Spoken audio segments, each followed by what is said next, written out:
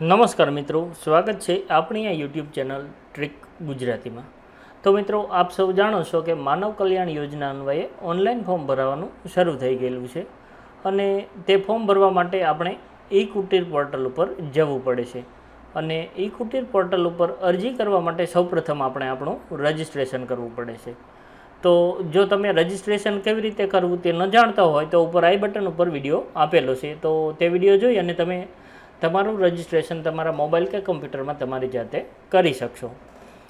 તો આજના આ વિડીયોમાં આપણે માનવ કલ્યાણ યોજના અન્વયે જે રજિસ્ટ્રેશન કર્યા પછી ઓનલાઈન અરજી કેવી રીતે કરવી તેના વિશે માહિતી મેળવીશું. તે પહેલાં જો આપણી આ યુટ્યુબ ચેનલ ઉપર નવા આવેલા હોય અને ચેનલને હજી સુધી સબસ્ક્રાઈબ ન કરી હોય, તો ચેનલને સબસ્ક્રાઈબ કરી બાજુમાં રહેલ બેલ આઇકોન પ્રેસ કરી ઓલ નોટિફિકેશન ચાલુ કરી લેવા વિનંતી. જેથી કરી આપણી ચેનલ ઉપર જ્યારે પણ નવી માહિતી મૂકવામાં આવે ત્યારે તે માહિતીના વિડીયોનું નોટિફિકેશન તમારા મોબાઈલ ઉપર મળી જાય. તો ચાલો શરૂ કરીએ આજનો આપણો આ ટોપિક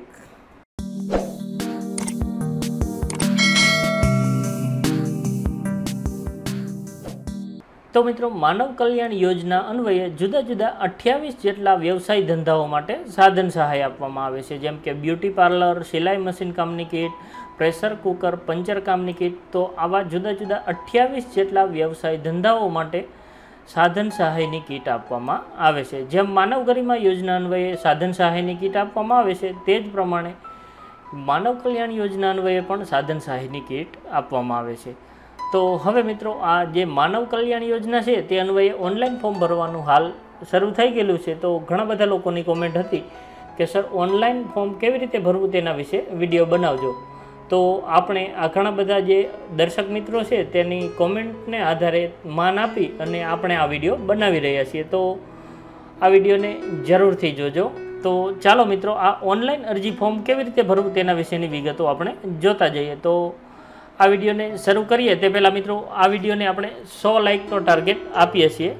જો આપ સૌ મિત્રોને પસંદ આવે તો આ વિડીયોને ચોક્કસથી લાઇક કરી દેજો. જેથી કરી અને આવા ને આવા જે માહિતીસભર વીડિયો બનાવવા માટેનું જે પ્રોત્સાહન છે તે મળી રહે. તો ચાલો હવે હું તમને બ્રાઉઝર પર લઈ જાઉં અને ત્યાં જઈ અને આપણે ઈ કુટીર પોર્ટલ ખોલી લઈએ છીએ. તો મિત્રો, માનવ ગરિમા યોજના અન્વયે અરજી કરવા માટે તમારા મોબાઈલ કે કમ્પ્યુટરમાં બ્રાઉઝર ખોલી લીધા પછી અહીંયા તમે એડ્રેસ બારમાં જોઈ શકો છો e Kutir dash Gujarat dot G O V dot in આ પ્રમાણે ટાઈપ કરી અને ઓકે આપી દેવાનું રહેશે. એ ઓકે આપશો એટલે કમિશનર શ્રી કુટીર અને ગ્રામોદ્યોગની આ પ્રમાણેની જે વેબસાઇટ છે તે ખુલી જશે.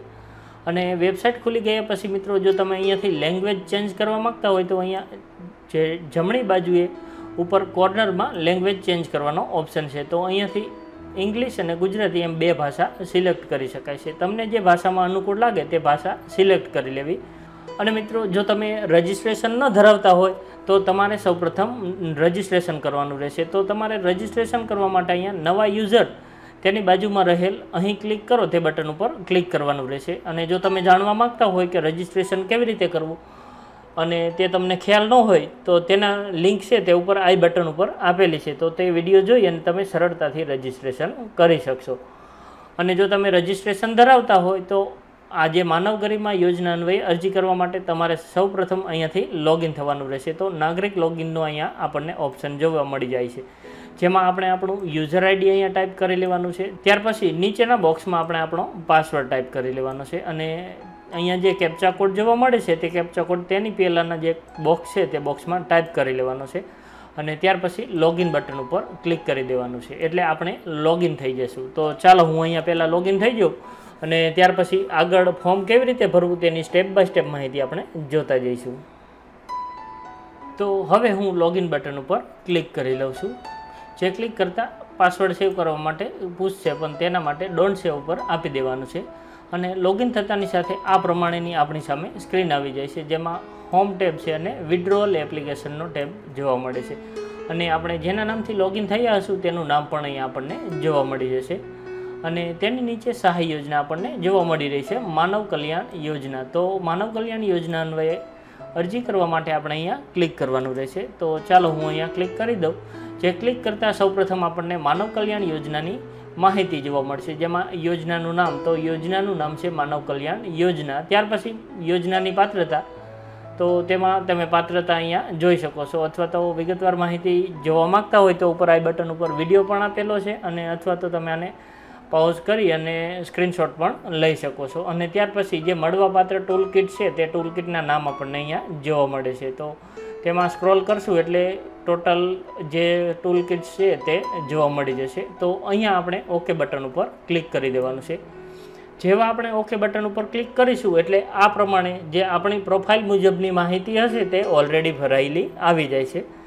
તો તેમાં આપણે જોતા જઈએ તો જેમ પ્રોફાઇલમાં આપણે અપડેટ કર્યું ત્યારે જોયું હતું, તો તે જ મુજબની માહિતી આપણને અહીંયા જોવા મળી જશે. જેમાં સૌપ્રથમ વ્યક્તિગત માહિતીનો ટેબ છે. તો વ્યક્તિગત માહિતીના ટેબમાં આપણે ફરી એકવાર માહિતી મેળવી લઈએ. તો તેમાં સૌપ્રથમ અરજદારનું નામ અંગ્રેજીમાં આપણને જોવા મળશે. મેં સિક્યુરિટી રીઝન માટે આ વિગતને બ્લર કરેલી છે. ત્યાર પછી આપણને જે અરજદારનું નામ છે તે તેની બાજુમાં ગુજરાતીમાં જોવા મળી જશે અને આ જ મુજબ અરજદારના પિતાનું નામ પ્રથમ અંગ્રેજીમાં અને તેની બાજુમાં ગુજરાતીમાં જોવા મળી જશે. ત્યાર પછી અરજદારનો લિંક, તો જે પ્રોફાઇલમાં આપણે લિંક સિલેક્ટ કરેલું હશે તે ઓલરેડી સિલેક્ટ થયેલું જોવા મળી જશે અને ત્યારબાદ અરજદારની જાતિ તો પ્રોફાઇલ અપડેટ કરતી વખતે આપણે અરજદારે જે જાતિ સિલેક્ટ કરી લઈ હશે તે જાતિ આપણને જોવા મળી જશે. તેની બાજુમાં આપણે જે ફોટો અપલોડ કરેલો હશે તે ફોટો પણ અહીંયા આપણને જોવા મળી જશે. ત્યાર પછી નીચે જોઈએ તો અરજદારની જન્મ તારીખ. તો જન્મ તારીખ આપણી અહીંયા જોવા મળી જશે. ત્યાર પછી તે જન્મ તારીખના આધારે આપણી ઉંમર અહીંયા જોવા મળી જશે. ત્યારબાદ આપણે દાખલ કરેલો આપણો આધાર કાર્ડ નંબર અહીંયા જોવા મળશે. બાજુમાં આપણે આપણો રેશન કાર્ડ નંબર દાખલ કરવાનો રહેશે. ત્યાર પછી નીચે આપણે જે દિવ્યાંગ છે, તો તેમાં જે આપણે જવાબ આપેલો હશે તે ઓલરેડી સિલેક્ટ થયેલો જોવા મળશે. ત્યાર પછી અરજદારનો મોબાઈલ નંબર. તો અહીંયા આપણે જે મોબાઈલ નંબર ટાઈપ કરેલો હતો તે મોબાઈલ નંબર જોવા મળી જશે. અને આપણે જો કોઈ ફોન નંબર દાખલ કરેલો હશે, તો ફોન નંબર પણ અહીંયા જોવા મળી જશે. અને ત્યાર પછી આપણે ઈમેલ એડ્રેસ દાખલ કરેલું હશે, તો ઈમેલ એડ્રેસ પણ આપણને અહીંયા જોવા મળી જશે. તો ચાલો, આ જે વ્યક્તિગત માહિતી છે, તેમાં આપણે માત્ર ને માત્ર રેશન કાર્ડની વિગત દાખલ કરવાની છે, તો હું અહીંયા રેશન કાર્ડ નંબર દાખલ કરી લઉં છું. અને ત્યાર પછી જે સરનામાની વિગતો છે, તે આપણે જોતા જઈશું. તો મિત્રો, આ વિગતો આપણે દાખલ કરી લીધી. હવે હું સરનામાની વિગત પર લઈ જાઉં છું તમને. તો થોડું સ્ક્રોલ કરી અને ત્યાર પછી નીચે આપણે સરનામાની વિગત જોઈશું. તો તમે જોઈ શકો છો કે આપણે જે પ્રોફાઇલમાં સરનામાની વિગતો દાખલ કરેલી હતી તે સરનામાની વિગતો પણ આપણી જોવા મળી રહી છે. તો સરનામાની વિગતમાં આપણે કોઈ પણ પ્રકારનો ફેરફાર કરવાનો રહેતો નથી. પણ તેમ છતાં જો આપણે કંઈ ફેરફાર કરવા માગતા હોઈએ તો અહીંયા ફેરફાર કરી શકીએ છીએ. અથવા તો જો કંઈ ફેરફાર ન હોય તો અહીંયા આપણે સેવ એન્ડ નેક્સ્ટ બટન ઉપર ક્લિક કરી દેવાનું રહેશે. તો ચાલો હું અહીંયા સેવ એન્ડ નેક્સ્ટ બટન ઉપર ક્લિક કરી દઉં છું. જે ક્લિક કરતાં અહીંયા આપણે જોઈ શકીએ છીએ કે વ્યક્તિગત માહિતી કમ્પ્લીટ થઈ ગઈ છે. હવે આપણે બીજા સ્ટેપમાં આવી ગયા છીએ, જેમાં અરજીની વિગત છે. તો અરજીની વિગતમાં શું શું દાખલ કરવાનું આવે છે તેની વિગત આપણે જોતા જઈએ. તો ચાલો સ્ક્રોલ કરી અને આખે આખી સ્ક્રીન આપણે જોઈ શકીએ છીએ. તો તેમાં સૌપ્રથમ અહીંયા જે ટૂલ કિટ્સનું નામ છે, તો અહીંયા ડ્રોપડાઉન લિસ્ટમાંથી આપણે ટૂલ કિટ્સનું નામ સિલેક્ટ કરવાનું રહેશે. ત્યાર પછી શૈક્ષણિક લાયકાત આપણે અહીંયાથી સિલેક્ટ કરવાની છે. તો અહીંયા ડ્રોપડાઉન લિસ્ટ તમને જોવા મળે છે. તેમાંથી આપણે આપણી શૈક્ષણિક લાયકાતને સિલેક્ટ કરી લેવાની છે. ત્યાર પછી તાંત્રિક એટલે કે ટેકનિકલ કંઈ તાલીમ લીધેલી હોય તો તેના વિગત છે તે અહીંયા દાખલ કરવાની રહેશે. ત્યારબાદ મિત્રો જે ત્રણ પૈકી કોઈ પણ એક વિગત ભરો તો આ જે બોક્સ છે તેમાંથી ત્રણમાંથી કોઈ પણ એક વિગત આપણે દાખલ કરવાની રહેશે. જેમ કે ગ્રામ્ય વિસ્તાર માટે બીપીએલ કાર્ડ તો અહીંયા બીપીએલ કાર્ડની વિગત અને તેનો સ્કોર નંબર જે જીરોથી સોળ કે વીસ જેમાંથી આવતું હોય તે સ્કોર નંબર તમારો દાખલ કરવાનો રહેશે. ત્યાર પછી શહેરી વિસ્તાર માટે સ્વર્ણ રોજગારી કાર્ડ, તો તમારા સ્વર્ણ રોજગારી કાર્ડની વિગત અહીંયા દાખલ કરવાની રહેશે. અને ત્યાર પછી ક્રમ નંબર ત્રણ ઉપર છે, કુટુંબની વાર્ષિક આવક. તો તમે જો આવકના દાખલા પરથી અરજી કરતા હોય તો અહીંયા તમારે તમારી આવક દર્શાવી દેવાની છે. અને તેના નીચે ધંધાની વિગત છે, તો તેમાં આપણે ધંધાનું નામ ટાઈપ કરવાનું છે, ત્યાર પછી અરજદારનો ધંધો વારસાગત છે. જો વારસાગત હોય તો હા બટન ઉપર ચેકમાર્ક રાખવાનું છે, નહીંતર ના બટન ઉપર ઓલરેડી ચેકમાર્ક હશે. ત્યાર પછી રાજ્યનું નામ ઓલરેડી ગુજરાત સિલેક્ટ થયેલું હશે અને તેના નીચે આપણે જિલ્લો સિલેક્ટ કરી લેવાનો છે અને બાજુમાં તાલુકો સિલેક્ટ કરી લેવાનો રહેશે. ત્યાર પછી ગામનું નામ સિલેક્ટ કરી લેવાનું છે અને સરનામું દાખલ કરી લેવાનું છે. અને ત્યારબાદ છેલ્લે આપણે અહીંયા પિનકોડ નંબર દાખલ કરી દેવાનો છે. અને આ વિગત દાખલ કરી લીધા પછી આપણે સેવ નેક્સ્ટ બટન ઉપર ક્લિક આપી દેવાનું રહેશે. અને તે ક્લિક આપતા આપણે અહીંયા જે ત્રીજું સ્ટેપ છે તે ત્રીજા સ્ટેપ દસ્તાવેજની વિગતોમાં પહોંચી જશું. અને અરજીની વિગતોનું જે સ્ટેપ હશે તે ઓકે થઈને જોવા મળશે. તો ચાલો હું આ વિગતો દાખલ કરી લઉં. અને ત્યાર પછી આપણે આગળની વિગતો જોઈએ. તો અહીંયાથી ડ્રોપડાઉનમાંથી આપણે જે કંઈ કીટો ઉપલબ્ધ છે તે કીટો જોવા મળશે. તેમાંથી જે કીટમાં તે આપણે એપ્લાય કરતા હોઈએ, તે કીટ સિલેક્ટ કરી લેવાની છે. ત્યાર પછી શૈક્ષણિક લાયકાત છે. તો શૈક્ષણિક લાયકાતમાં આપણે અહીંયા સિલેક્ટ કરી લેવાની છે. જો ટેકનિકલ તમે કોઈ કોર્સ ધરાવતા હોય તો તેની વિગત અહીંયા દાખલ કરવાની છે. નહીંતર અહીંયા આપણે આપણો જે ગ્રામ્ય વિસ્તારમાં બીપીએલ કાર્ડ હોય તો બીપીએલ કાર્ડની વિગત અને તેનો સ્કોર નાખવાનો છે, અથવા તો શહેરી વિસ્તારમાં હોય તો સુવર્ણ રોજગારી કાર્ડની વિગત નાખવાની છે. પણ હું અહીંયા આવકના દાખલાથી એપ્લાય થઉં છું, માટે હું અહીંયા આવક દાખલ કરી દઈશ. તો ચાલો મિત્રો, હું અહીંયા આવક દાખલ કરી લઉં છું અને ત્યાર પછી ધંધાની વિગતમાં જોઈએ. ધંધાની વિગત દાખલ કરી લીધા પછી તે વારસાગત ધંધો છે કે કેમ?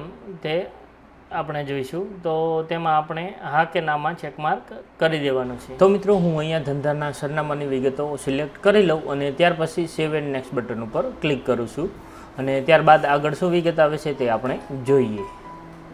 તો મિત્રો, હવે તમે જોઈ શકો છો કે પહેલું સ્ટેપ અને બીજું સ્ટેપ બંને ઓકે થઈ ગયા છે. તો હવે આપણે જે ત્રીજું સ્ટેપ છે, દસ્તાવેજની વિગતો તેમાં આવી ગયા છે. તો અહીંયા આપણે જે કંઈ ડોક્યુમેન્ટ અપલોડ કરીએ તે ડોક્યુમેન્ટ એક એમબીથી ઓછી સાઇઝનું હોવું જોઈએ તેવી નોટ આપણને અહીંયા જોવા મળી રહી છે. એટલે કે તેવી નોંધ આપણને અહીંયા જોવા મળી રહી છે. તો મિત્રો, જે ડોક્યુમેન્ટ ફરજિયાત અપલોડ કરવા જરૂરી છે, તેની બાજુમાં જે લાલ ફૂદડી આપણને જોવા મળી રહી છે. તો લાલ ફૂદડીવાળા જે કંઈ ડોક્યુમેન્ટ છે, તે આપણે અપલોડ કરવા ફરજિયાત છે. અને જેની બાજુમાં લાલ ફૂદડી જોવા નથી મળતી, તે ડોક્યુમેન્ટ અપલોડ કરવું મરજિયાત છે. તો ચાલો હવે આપણે વિગતવાર જોઈએ. તો સૌપ્રથમ આધાર કાર્ડ છે. તો આધાર કાર્ડની નકલ અપલોડ કરવા માટે સૌપ્રથમ આપણે તેની બાજુમાં જે બોક્સ છે તેમાં આધાર કાર્ડ નંબર લખી અને ત્યાર પછી બ્રાઉઝ બટન ઉપર ક્લિક કરીને આધાર કાર્ડ સિલેક્ટ કરી અને અપલોડ કરવાનું રહેશે. ત્યાર પછી રેશન કાર્ડના પ્રથમ તથા બીજા પાનાની પ્રમાણિત નકલ. તો તેમાં આપણે અહીંયા રેશન કાર્ડનો નંબર દાખલ કરી અને ત્યાર પછી રેશન કાર્ડની જે નકલ જ્યાં પડી હોય ત્યાંથી બ્રાઉઝ કરી અને અપલોડ કરવાની છે. ત્યાર પછી ઉંમરનો પુરાવો. તો ઉંમરના પુરાવામાં આપણે જોઈએ કે આધાર કાર્ડ, પાન કાર્ડ, ચૂંટણી કાર્ડ અથવા તો શાળા સોડિયાનું પ્રમાણપત્ર આ ચારમાંથી કોઈ પણ એક અપલોડ કરવાનું રહેશે. તો તેનો નંબર અહીંયા દાખલ કરી અને ત્યાર પછી બ્રાઉઝ બટન ઉપર ક્લિક કરી તેની ફાઇલ આપણે સિલેક્ટ કરી લેવાની છે. ત્યાર પછી જો ગ્રામ્ય વિસ્તારમાંથી આવતા હોય તો બીપીએલ સ્કોર સાથેનો દાખલો અથવા તો શહેરી વિસ્તારમાંથી હોય તો સુવર્ણ કાર્ડની નકલ અને જો આ બંનેમાંથી એક પણ ન હોય અને તમે આવકના દાખલાથી એપ્લાય થતા હોય તો તે આવકનો દાખલો જે સરકારશ્રી દ્વારા અધિકૃત કરેલા હોય તેવા અધિકારીનો આવકનો દાખલો અપલોડ કરવાનો રહેશે. તો અહીંયા આવકના દાખલાનો નંબર ટાઈપ કરી અને ત્યાર પછી બ્રાઉઝ કરી, તેની ફાઇલ સિલેક્ટ કરી અને અપલોડ કરવાની છે. ત્યાર પછી ધંધા વિશે જો કોઈ અનુભવ ધરાવતા હોય તો ધંધાનો અનુભવનો દાખલો અહીંયા અપલોડ કરવાનો છે. તો આ એક ઓપ્શનલ છે. જો હોય તો અહીંયાથી બ્રાઉઝ ઉપરથી ક્લિક કરી અને તે અપલોડ કરી શકો છો. ત્યાર પછી જાતિના દાખલાનું છે. તો સરકારશ્રી દ્વારા અધિકૃત કરેલ અધિકારીનો જાતિનો દાખલો અહીંયાથી અપલોડ કરવાનો છે અને તેની બાજુમાં પણ લાલ ફૂદડીનું નિશાન આપણને જોવા નથી મળતું. માટે તે મરજિયાત હશે તેમ આપણે માની લઈએ છીએ. તો જો હોય તો અહીંયા તમારો સર્ટિફિકેટ નંબર નાખી અને બ્રાઉઝ કરી અને અપલોડ કરી દેવાનો રહેશે. અને ત્યાર પછી સેવ નેક્સ્ટ બટન ઉપર ક્લિક કરવાનું રહેશે. તો હવે એક પછી એક બધા ડોક્યુમેન્ટ અપલોડ થઈ ગયા છે. તમે જોઈ શકો છો. હવે અહીંયા હું સેવ નેક્સ્ટ બટન ઉપર ક્લિક કરી દઈશ. તો ચાલો હું અહીંયા સેવ નેક્સ્ટ બટન ઉપર ક્લિક કરું છું. જે ક્લિક કરતાં પેજ લોડ થશે અને પ્રોસેસ થઈ અને આપણે સ્ટેપ ચારમાં પહોંચી જઈશું અને ત્રણ નંબરનું સ્ટેપ છે તે ઓકે લખાયેલું જોવા મળશે. તો મિત્રો આપણા એકથી ત્રણ દરેક સ્ટેપ ઓકે થઈ ગયા છે. હવે આપણે સ્ટેપ ચાર નિયમો અને શરતોમાં જોવા મળી રહ્યા છે. તો આપણને નિયમો અને શરતો જોવા મળી રહી છે. તો આપણે અહીંયા નીચેના બોક્સમાં ચેકમાર્ક કરી લેવાનો છે. જેથી હું ઉપરની બધી શરતોથી સંમત થાઉં છું તેવું લખવામાં આવેલું છે. અને ત્યાર પછી સેવ એન્ડ નેક્સ્ટ બટન ઉપર ક્લિક કરવાનું છે. તો ચાલો હું અહીંયા ચેકમાર્ક કરી લઉં. ત્યાર પછી આપણે સેવ એન્ડ નેક્સ્ટ બટન ઉપર ક્લિક કરીશું. તો ચેકમાર્ક કરતાં પ્રોસેસ થાય છે અને હવે આપણે સેવ એન્ડ નેક્સ્ટ બટન ઉપર ક્લિક કરીએ છીએ. તો અહીંયા તમે હવે જોઈ શકો છો. થેન્ક યુ ત્યાર પછી તમારું નામ અહીંયા જોવા મળશે અને તમારી માનવ કલ્યાણ યોજના અરજીની નોંધણી થયેલ છે અને તેના પર ટૂંક સમયમાં કામ ચાલુ કરવામાં આવશે અને ત્યાર પછી તમારો અરજી નંબર અહીંયા જોવા મળશે. અરજી પ્રિન્ટ કરો, તેના ઉપર પ્રિન્ટ કરી અને તમે તેની પીડીએફ ડાઉનલોડ કરી શકો છો. તો ચાલો હું અહીંયા પહેલાં ક્લિક કરી દઉં છું. જે ક્લિક કરતાં આ પ્રમાણેની વિગત આપણને જોવા મળશે. જેમાં અહીંયા તમને પ્રિન્ટનું કોલમ છે. તો તે પ્રિન્ટના કોલમની નીચે અહીંયા એક પ્રિન્ટરનું જે આઇકોન છે તે જોવા મળે છે.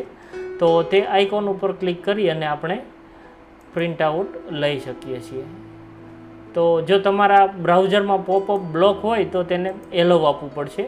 જેથી નવા પોપઅપમાં તમારી પ્રિન્ટ આઉટ જોવા મળશે. તો મિત્રો, આ પ્રમાણે તમારી જે અરજીની પ્રિન્ટ આઉટ છે તે તમે મેળવી શકો છો અને અહીંયા ડાઉનલોડ બટન ઉપર ક્લિક કરી અને તમારી અરજીને પીડીએફ સ્વરૂપે સેવ પણ કરી શકો છો. તો મિત્રો, આ પ્રમાણે જે ઈ કુટીરના પોર્ટલ ઉપર તમે step by step Manav Kalyan Yojana અન્વયે એપ્લાય થઈ શકો છો. જો તેમ છતાં એપ્લાય કરવામાં તમને કોઈ મુશ્કેલી પડે, તો નીચે કોમેન્ટ બોક્સમાં કોમેન્ટ કરજો. મારાથી બનતી મદદ કરવા માટે હું પ્રયત્ન કરીશ. આ ઉપરાંત મિત્રો, જમીન રેકર્ડ, દાખલાઓ, સરકારી યોજનાઓ, સરકારી ભરતી, આધાર કાર્ડ અને બીજી ઘણી બધી અન્ય ઉપયોગી માહિતી માટે આપણી વેબસાઇટ ટ્રી ગુજરાતી ડોટ કોમની મુલાકાત લેતા રહેજો. સાથોસાથ આપણી ટેલિગ્રામ ચેનલ પણ છે, તો તમે અહીંયા ટેલિગ્રામ ચેનલની લિંક પણ જોઈ શકો છો. અથવા તો તમારા મોબાઈલમાં ટેલિગ્રામ ખોલી અને ટ્રીક ગુજરાતી સર્ચ કરશો, તો આ પ્રમાણેની ટેલિગ્રામની ચેનલ તમને જોવા મળી જશે. તો જો તમને ઉપયોગી લાગે, તો તમે ટેલિગ્રામ ચેનલમાં જોઈન થઈ શકો છો. અને જોઈન થવું એ એકદમ ફ્રી છે. તો મિત્રો, જો તમને મારો આ વીડિયો પસંદ આવ્યો હોય તો લાઇક કરજો, મિત્રો સાથે શેર કરજો, જરૂર જણાય તો કોમેન્ટ કરજો. અને હા, આપણી આ યુટ્યુબ ચેનલને સબસ્ક્રાઇબ કરવાનું ભૂલશો નહીં. ફરી મળીશું નવા વીડિયો સાથે. ત્યાં સુધી રજા લઉં. જય હિન્દ, વંદે માતરમ.